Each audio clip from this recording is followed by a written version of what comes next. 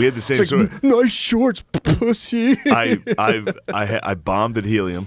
I was driving back to our house, and there was just a, uh, uh, like a finance bro on a bike, and I was just driving by him, and I was like, "Pussy," and I hit a red light, and I saw him flying, dude, for like a mile. I saw this dude like pedaling to catch up to me.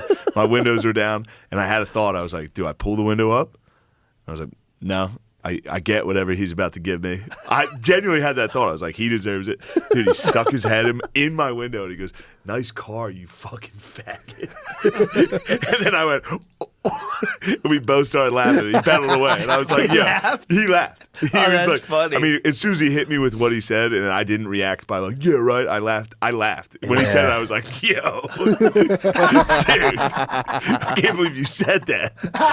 and he was, he, he hit me with like a, That's hilarious. it was such a nice That's moment. a good exchange. It was a genuine That's- nice exchange. Yeah, like Seriously. aggressive exchange, but you both walked away feeling good. we both I for no reason I was just leaving helium. I saw a guy on a bike and I was like, "Nice bike, fucking loser." and he caught up. He goes, "Nice piece of shit car, you fucking." yeah, we and he to- hit it. We used to yell out a car window.